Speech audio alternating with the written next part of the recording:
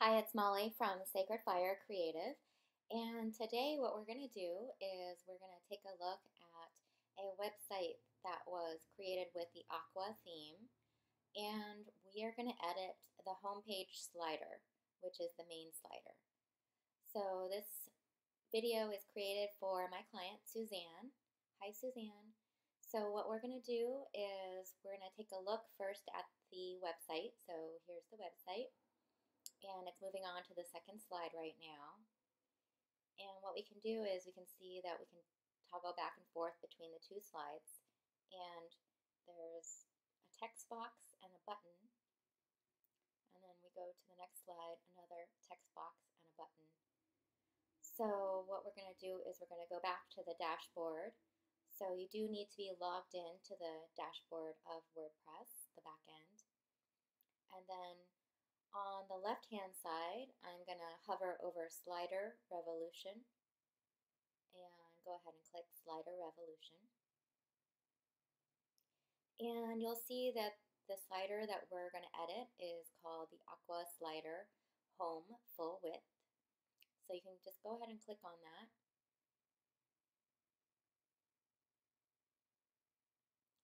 All right, and so we'll see here there's slide one and slide two. And so for slide one,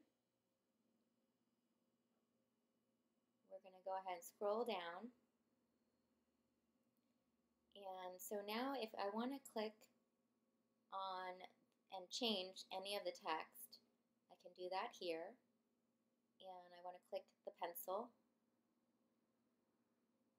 And then you can go ahead and change the text here Keep in mind that the line breaks are created by this HTML symbol here. All right, and so if you want line breaks to show up, you're going to need to insert those. And when that looks good to you, you can click the check mark. And then if you want to edit the See More button, you can also open this up so that it shows the different layers go to the pencil and edit the See More button. And so what you're going to want to change here, if you want to change anything, is the link that it goes to, and then the text, See More. So other than that, I would keep the rest the same. Again, when you want it changed, go ahead and click the check mark. And then if I scroll up, I can also click this to change the image, the main background image. So if I click change image, I can choose a different image from my media library and click insert. And then from there, you want to make sure and save that slide. So I'm going to click save slide. And then that's the last thing that we need to do if you want to click and change any of that. Obviously, if I want to click and change slide number two, go ahead and edit that. And then if I scroll down, you will see eventually, if I go ahead to that page, there we go. There we go. And so again, to change the image, click change image up here change the text, you can click on a layer and go ahead and click the button, the pencil, to edit it. If you want to check out one of the other layers, go ahead and do that.